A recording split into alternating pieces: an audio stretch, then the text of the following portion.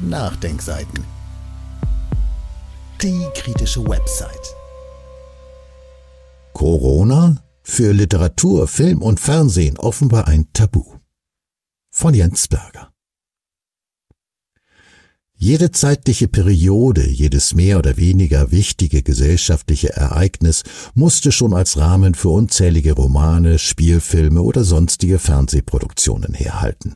Wie viele Bücher und Filme gibt es beispielsweise, deren Rahmenhandlung der Mauerfall ist? Unzählige.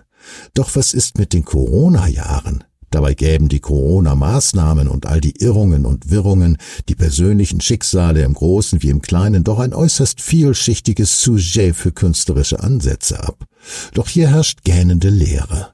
Noch nicht einmal in den zeitgenössischen TV-Produktionen dieser Jahre kamen Masken, Schulschließungen, Ausgangssperren oder der Umgang mit Ungeimpften vor. Ist das nicht seltsam? Allein im letzten Jahr sind in Deutschland fast 65.000 Bücher veröffentlicht worden. Die Zahl der Kino- und TV-Filme samt Serien geht in Zeiten von Streaming-Angeboten ohnehin durch die Decke.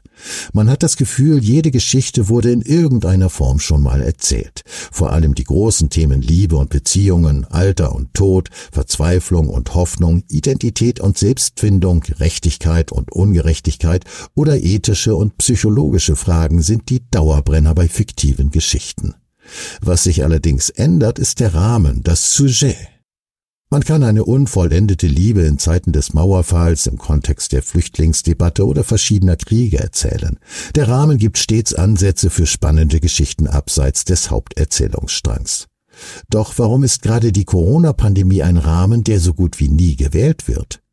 Ließe sich keine gute Geschichte erzählen, bei der beispielsweise die Eltern im Altersheim versterben, ohne dass man sie dank der Besuchsverbote ein letztes Mal gesehen hat und auf dem Sterbebett mit ihnen den letzten Frieden geschlossen hat? Wäre es nicht erzählenswert, sich die psychischen Probleme von Kindern in Zeiten der Schulschließungen und des Lockdowns einmal vorzunehmen? Und wie ist es mit der Liebe? Mein damals frisch verliebter Schwager aus Lörrach war beispielsweise wochenlang von seiner Freundin aus Basel durch einen Grenzzaun getrennt. Sie trafen sich dann illegal, indem sie die grüne Grenze übertraten. Ist das keine Geschichte, die erzählt werden kann? Aber nein, diese Geschichten, die in welcher Form auch immer fast jeder von uns in den letzten Jahren erlebt hat, werden nicht erzählt. Noch nicht einmal als Rahmen scheint die Corona-Zeit für Autoren von Romanen und Drehbüchern interessant zu sein. Zumindest ist mir keine Produktion bekannt, bei der zum Beispiel eine der handelnden Figuren eine Gaststätte nicht betreten darf, weil sie nicht geimpft ist. Die zahlreichen Fernsehkommissare mussten auch nie die Verbrecherjagd pausieren lassen, weil sie daheim auf ihre Kinder aufpassen mussten, die nicht mehr in den Kindergarten oder in die Schule gehen durften. Besonders auffällig, selbst in Produktionen, die während der Corona-Zeit unter den G-Regeln stattfanden, trägt niemand vor der Kamera eine Maske. Warum? Auf dieses Warum habe ich weder im Kleinen noch im Großen eine wirklich überzeugende Antwort. Will man das Publikum nicht abschrecken? Gibt es eine Schere im Kopf? Ist der Schmerz noch zu frisch und muss von den Kreativen selbst erst noch verarbeitet werden? Ist es Feigheit oder Scham, weil man selbst ein Mitläufer war und dies lieber verdrängen will? Oder ist jegliche Kritik an den Maßnahmen und sei sie nur in die Rahmenhandlung eingebettet von den Verlagen und Studios unerwünscht? Vielleicht wissen Sie da ja mehr als ich oder haben eine überzeugende Erklärung. Auf mich wirkt es jedenfalls so, als gäbe man sich die größtmögliche Mühe, das Thema und alles, was damit zusammenhängt, so gut wie möglich zu verdrängen, ja zu tabuisieren. Vielleicht müssen ja noch einige Jahre ins Land gehen, bis unsere Kulturschaffenden dieses heiße Eisen anfassen.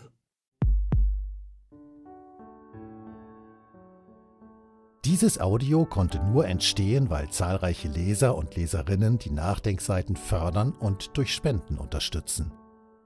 Wenn Sie auch etwas tun wollen, klicken Sie einfach den entsprechenden Button auf unserer Website an. Übrigens, Sie können uns auch bei iTunes, SoundCloud und YouTube hören und wenn Sie mögen, gerne unseren Kanal abonnieren und eine positive Bewertung für uns abgeben. Wir freuen uns über Ihre Unterstützung und die Weiterverbreitung unserer Inhalte.